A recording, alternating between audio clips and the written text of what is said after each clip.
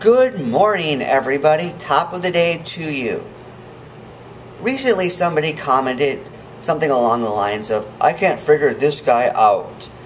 He criticized leftists, but he also belongs to the International Union.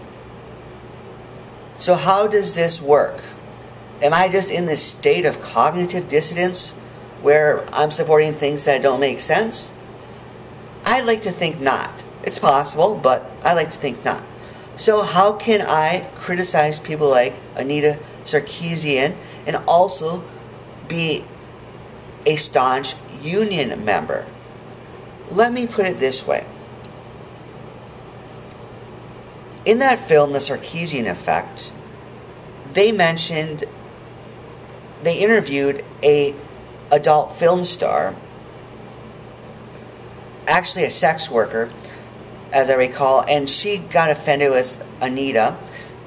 We're on a first name basis now, as you can see, because Anita took away her agency from her, she said, considering her a helpless victim who is prostituted by these big forces.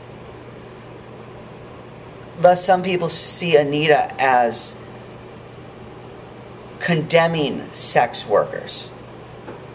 But the IWW, the Industrial Workers of the World, whom I belong to, don't see sex workers in the same way. In fact, they try to unionize sex workers, and there is an actual part of the union, a branch of the union dedicated to unionizing sex workers.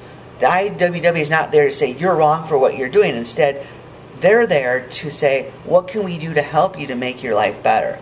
They're not going to criticize you for what you choose to do, but at the same time, they want to help you avoid any harmful pimps or bosses in your field and get the most from what you can get. So it's a position of non judgment, it's a position of actually helping. Some people who are in leftism are there to condemn and victimize people. Others are there to empower. So that you always got to ask yourself: Are the leftists there to empower, or are they there to victimize?